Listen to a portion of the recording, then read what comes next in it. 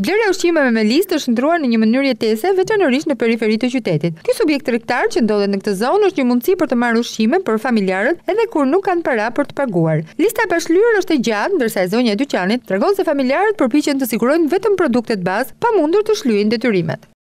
Hape dhe shikoje sa duash listën!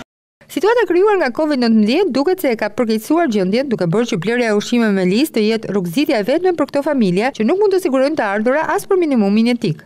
Presin, marrin rrogën njerëzit dhe sjellin. Marrin gjithë muajin me listë, vjen edhe data e rrogës dhe sjellin. Një pjesë e madhe.